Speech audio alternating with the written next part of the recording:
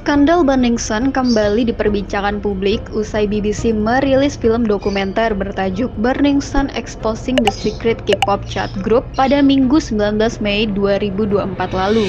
Film dokumenter itu membongkar isi chat idol K-pop Jung Jong Hyun dan teman-teman artisnya Choi Jong Hon hingga Seungri Big Bang yang berisikan banyak foto dan video mesum hingga pemerkosaan.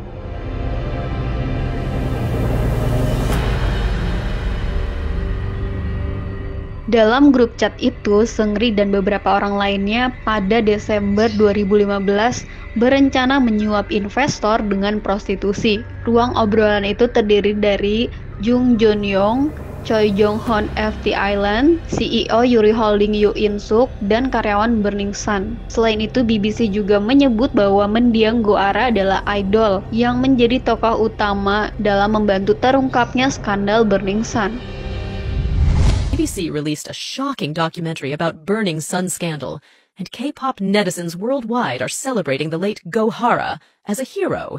The journalist who exposed the scandal revealed that exposing culprits would not be possible without Hera. She reached out to journalists at a critical point in the investigation and confirmed that she had seen weird things on Choi Jong-hoon and the other celebrities' phones.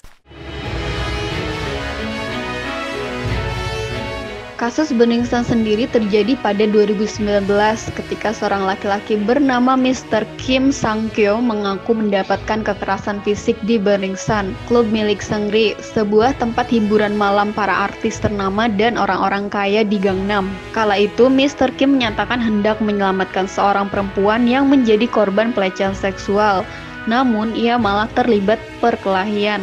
Satu hari setelahnya, pihak Burning Sun menuding bahwa laki-laki tersebut hendak melakukan pelecehan pada perempuan di sana, sehingga Mr. Kim dipenjarakan polisi.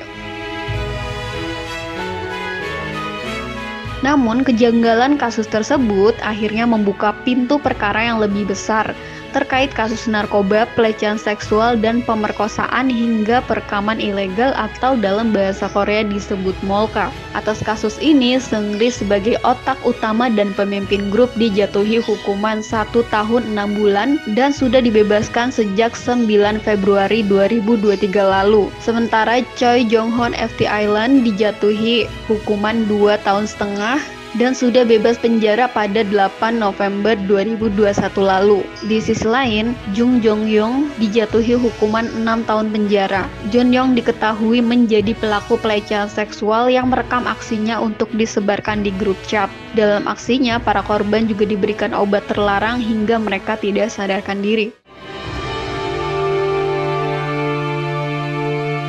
Nah, gimana nih menurut pendapat kalian satu bers? Komen di kolom komentar di bawah ini ya.